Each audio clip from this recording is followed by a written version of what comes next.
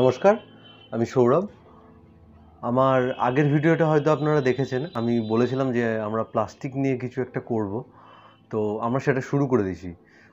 আসলে সেটা আমি একা অনেক আগে থেকেই শুরু করেছি। কিন্তু আমি কিছু জনকে সেটা বলি এবং সেটা শুরু করার জন্য জানাই। তো অলরেডি কয়েকটা সংস্থা শুরু করেছে। এবার বলি কি করতে চাই? অনেকে আমাকে প্রশ্ন করেছে যে যে ইকোব্রিক কি? আমি সবাইকে বলেছিলাম যে ইকোব্রিক সম্বন্ধে জানিয়েছিলাম। আমাকে বলেছে যে ইকোব্রিক কি? তো আমি একটু দেখাই। এটা এটা হচ্ছে ইকোব্রিক। ইকোব্রিক বলতে এটা প্লাস্টিকের একটা বোতল। এটার ভিতরে আমাদের ধরুন রোজকার যেটা মশলার প্যাকেট লজেন্সের প্যাকেট, চিড়ের প্যাকেট রয়েছে ডালিয়ার প্যাকেট রয়েছে, তেলের প্যাকেট রয়েছে নুনের প্যাকেট রয়েছে আরও কত কিছু।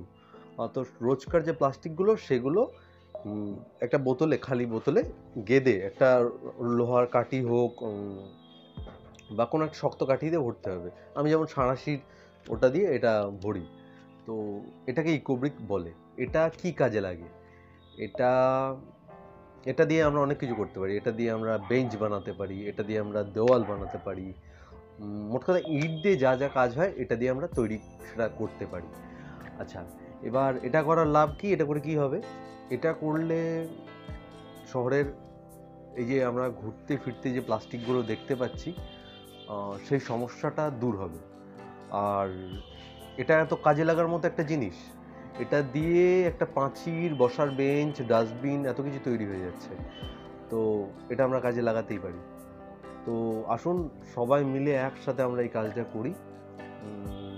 আর এটার জন্য আমি একটা জিনিস ভেবেছি, সেটা হলো আপনারা আপনাদের নিজস্ব ভিডিও তৈরি করুন, এটা নিয়ে। যে আপনি আপনার প্রথম ইকোব্রিক তৈরি করছেন। এটা আমার দ্বিতীয়। তো আপনারাও করুন। নমস্কার।